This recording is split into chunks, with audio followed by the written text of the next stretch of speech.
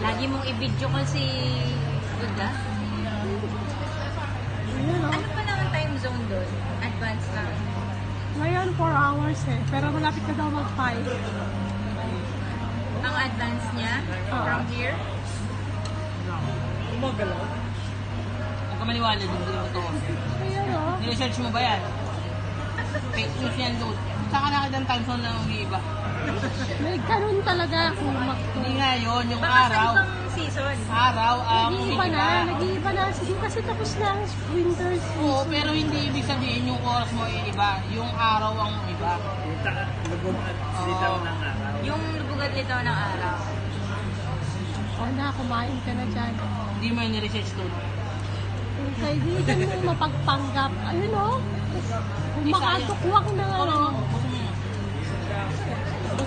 Na. Pinatay ko na eh. Kunyari pa kayong dalawa eh. Kayo ang ano eh. Tapos na kami oh. Yun, oh. Diet daw. oh. Nag-ano yan, nag-apple cider siya. Nag-apple cider na lang ako. Tata tataasan ko ang dosage. Babawi daw siya mamayang gabi.